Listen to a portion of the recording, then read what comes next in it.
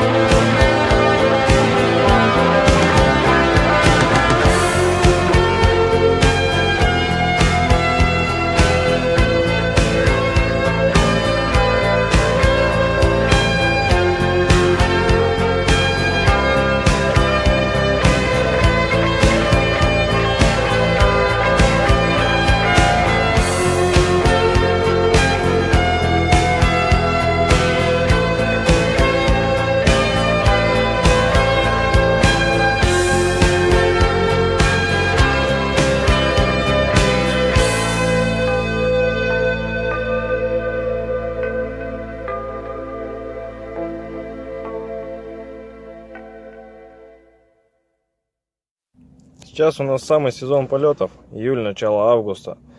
Наслаждаемся моментами, вот, ловим часы, особенно вот вечером, утром. Бывает, что ветерок слабенький, можно полетать.